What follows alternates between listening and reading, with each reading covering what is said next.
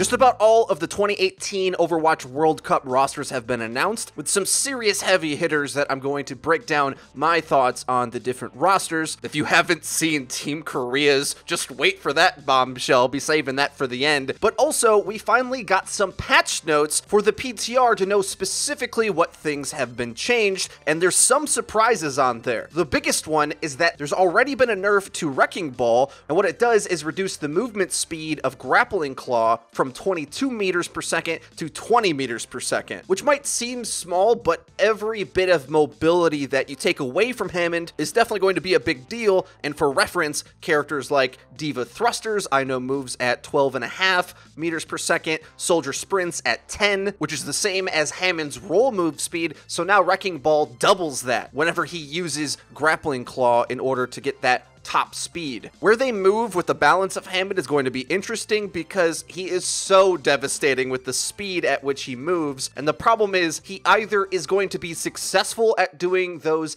intense lightning fast dives, or he might not be playable if you start to take away his ability to do that. It's kind of boomer bust for him in my opinion. And at least I think the balance of it more or less will come down on how effective crowd control is at stopping him from getting in and around to land pile driver to set up your entire team for big wombo combos. Now, oddly enough, these patch notes don't include the Mercy damage amp changes, which we have covered previously. And since some of that seems to still be up in the air and there's no official announcement about it yet, we're not exactly sure what the rule set for what damage amp is going to do for different ultimates. We'll sort of have to wait and see how that works out. The most notable one, of course, is Hanzo, who, at least on the live server of the game, whenever you damage amp Dragon as it goes into a grav and the enemy is using trance to save it, the damage and healing will kind of equal out, and if you add any extra damage on top of it, you can overcome the trance healing, which you'll still be able to do even if you can no longer damage amp the Hanzo because you could just damage amp something else to get the same effect. Do you know what I mean? It's always been possible to put more damage than Trance can heal into a Grav, so we'll see how that develops over time. The changes to Sombra have been published as well. EMP disables Wrecking Ball's Minefield for 10 seconds, which is quite a long time if you think about it, especially as normally Minefield lasts for 20 seconds. And especially as you think on how successful Hack is going to be onto Hammond, because unlike D.Va, his weapon isn't as reliable to use all the time in spam. He kind of needs to be in ball form. You get a hack on Hammond as he's trying to come in, and he can't escape. He can't go in ball form to hide his head hitbox. And if he doesn't get adaptive shields off, he's just donezo. Now that Sombra can counter his ultimate as well to some degree, I think we'll start to see her, along with the CC options, to be a very good answer to Hammond. She can cancel her reload in order to hack, just like McCree can do with his flashbang in order to do it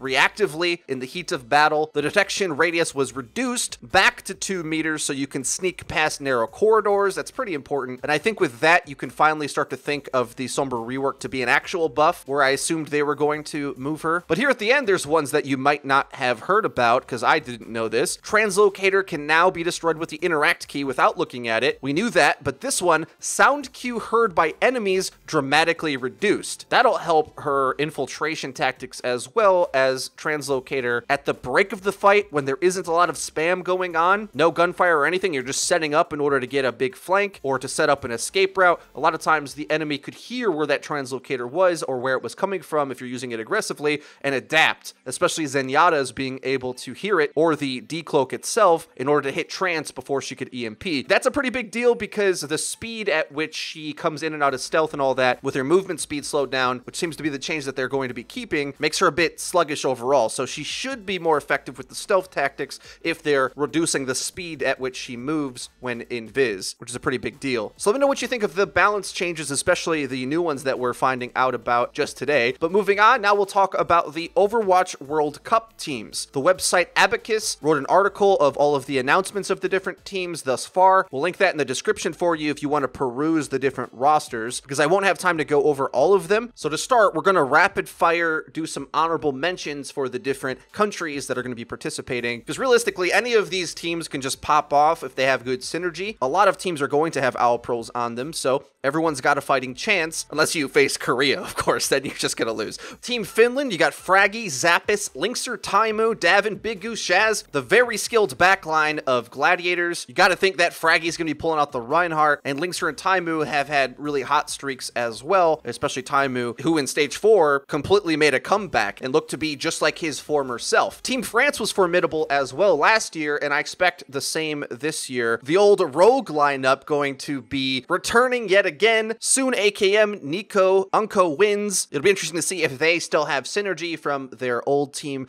prior, but the star here for me is Soon, who has really stepped up his game after grinding in the Overwatch League. He's expanded his hero pool, and I think he's going to be the star, bolstered by the addition of Poko now, who's quite the playmaking off tank. Team Rush are going to be giving some serious DPS firepower with Shadowburn mistakes and unfixed on the roster. And although I've seen some of these other players in contenders, I'm not sure where I rank them so much. Remember last year, Russia actually did get quite far, but lost in a clutch match against Canada, sending Russia to the losers bracket to face South Korea, and we all know nobody beats South Korea. That was an epic match, and I kind of hope we see a revenge matchup between them and Canada. Team Sweden, Reinforce, gets off the desk and goes onto the stage. I look forward to seeing him play again. Stapled names, Snillo to Vic, IDDQD hopefully can get some playtime. They'll be a fun team to watch. Team UK, Christopher is a tank player that I think a lot of people may have forgot about. He kind of bounced around a few different rosters and kind of got lost in the shuffle. And from reports of players, he's a very good shot caller, which Team UK will need because just between you and me, I heard that Team UK last year didn't take practice that seriously, and after the group stage, kind of got wrecked. Smex Kib and Mikey A are playmakers on the off tank and DPS roles, respectively. Boombox down there on the Zenyatta hasn't had a spectacular Overwatch League, but was one of the innovators in Zenyatta gameplay. It'll be cool to see him reprise some of his star Zen fragging. Now, before we get into who I think are the top teams that you want to be terrified of, Abacus also published photos of the different locations that the group stages will be played in, and man, these are beautiful. Korea's group will be played in Korea. USA will be played at the Blizzard Arena, where we watch the Overwatch League. That'll feel right at home for many of them. They won't have to get a flight. The third group will be in Bangkok, Thailand. Looks beautiful. I wish I could go. And the fourth group will be played in Paris, France. And to the final three that I want to focus on. Being American, I want to cheer on the USA. We'll look at them first. Muma Super in at main tank, and McGravy from Contenders and Space from the LA Valiant in off tank. DPS, Dante, Sinatraa, Hydration, and Zachareee supports Sleepy, Rawkus, Elk, and Moth a combination of a few players from some hot NA contenders teams, and a mix of some of the best OWL pros from Shock, Houston Outlaws, and the Gladiators. The biggest one for me is Space. I don't think the Valiant win in Stage 4 against NYXL was a fluke. I do think NYXL was holding back and playing a lot of dumb strategies and setups and playstyles. However, what Space brings to the off-tank position, along with the intelligent play that I know Muma has on all three main tanks, is going to make for a formidable front line. And when your tanks are that good, it kind of almost doesn't matter how good the DPS are, but they have good DPS as well. You might think Dante Sinatraa Hydration, well, they're OWL pros, right? Well, they're going to be the best. I think Zachareee is going to be the star DPS on this lineup, especially if you've seen his Hanzo in contenders. Holy moly. As for the backline, I'd say Rawkus, kind of like Boombox, has a chance to redeem himself as he didn't have the best Overwatch League, but he played really well in the World Cup last year, especially in the tight loss against Korea. Now, next, let's look at Team Canada. Jayne has been streaming a lot of VOD reviews, showing us the behind the scenes look of his team. I wish all the teams streamed their internal scrims or VOD reviews. That would just be a dream for me. But because of that, we have a bit more information on how this team operates in comparison to the other teams that are practicing in private, which might be the smarter option to do strategically speaking, but worse for my spectating pleasure. Between Agilities, Surefour, and Mangachu, just like last year, these guys are bringing DPS firepower. And now Mangachu unlike last year, won't have to fill in on that off tank position because they've got Note in there, who's one of the most stable D.Va players in the league. Between Surefour and Mangachu on Widowmaker and Hanzo, their double sniper is going to be sick. And for the Brigitte and projectile roles like Pharah and Junkrat, both agilities and Mangachu just pop off. They are actually insane. Of course, the superstar XQC is in at main tank, but he's looking very rusty right now, and I think Shane might see a bit more playtime if XQC can't get up to speed fast enough in the competitive rule set again, as I think Shane plays a bit more reserved, which is definitely important in the burst damage meta, where tanks, if they're ever out of position for a second, just get blown up. An embarrassment of riches on Team Canada. It's going to be pretty hard for them to pick between Crimzo and Rolf, who are both all-star contenders level Zenyatta players. Crimzo's better mechanically, but Rolf might fit better in the team context with shot calling and experience, which definitely matters. Some of these pro Zens guys look like mini JJoNaks. Crimzo is that kind of guy, where he had so many orbs that he's basically another DPS. That's the kind of Zen we're talking about. But for our last team, seeing this get revealed was like a punch to the chest because you can just feel the power emanating off the screen, vibrating, as if the roster list alone is charging up to be Super Saiyan 4. Saebyeolbe, Carpe, Libero, Fleta, Fate, Fissure, Meko Fury, ArK, Anamo, JJoNak, Karif.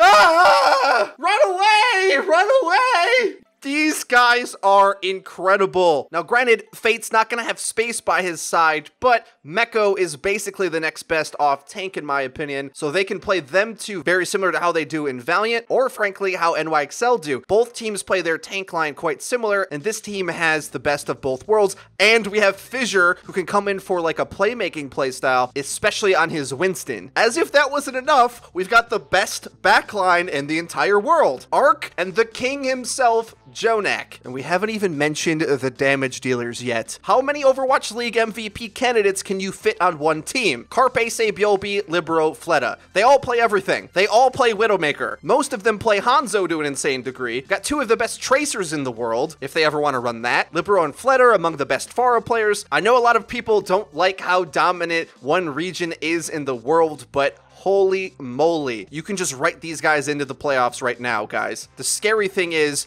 there might be another one or two full 12 man rosters that Korea could make that would also be in contention to make the finals as well. Because just think about it, we're leaving off players like Gesture, Saya player, there's tons of six supports that just aren't making the cut anymore. Ryu Jae-hong and Tobi are nowhere to be seen, which is just brutal. The competition in South Korea is so high, all-star players can't even make backup on the Korean roster. And honestly, I, I can't argue with any of these selections. Not one. This roster has the most flexibility and the highest skill peak of any roster in the World Cup, and they're going to win it all. Maybe Canada or USA can come close, but ultimately, as we all know, the coaching in Korea is better as well. Or at least it's assumed to be. I would absolutely love to see Team USA with Coach Aero make a big upset, or Jayne for Canada. I'll be rooting for both of them. I'm a huge fan of what both of them do and have accomplished thus far in the Overwatch community, but it's going to be intense, guys. Well, that's going to be it for today's, guys. Let us know your thoughts on any of the subjects covered today, buffs and nerfs on the PTR and the Overwatch World Cup rosters. It's going to be sick. I think a lot of people are more hyped about the World Cup than they are even a lot of the Overwatch League games because your country is on the line, not just your favorite team. If you enjoyed the video, please be sure to leave it a like. It really does help us out and lets us know that you're enjoying the content. And if you haven't already, please subscribe because we upload each and every day. So you're going to want to hit the bell icon so that you get notified when our videos go live. Link to the description is our Twitter where we tweet out news, updates, and dank memes. That's been it for me. I've been Frito for your Overwatch. I'll see you guys next time.